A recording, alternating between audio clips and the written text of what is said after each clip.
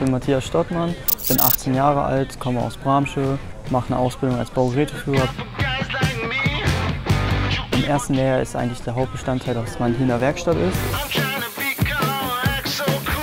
Und im zweiten Lehrjahr kommt das dann so, dass du auf die Baustelle kommst, auf die Maschinen. Also ich bin hauptsächlich jetzt im ersten Lehrjahr in der äh, Pkw-Abteilung und das ist halt immer verschieden, was man dann für Autos hier reinkriegt, was man halt für Aufträge dann in dem Moment hat. Auf jeden Fall äh, sind hier alle Leute für einen da, das ist auf jeden Fall top. Jeder hat eigentlich ein offenes Ohr für jeden und ähm, man lernt halt viel, sehr viel.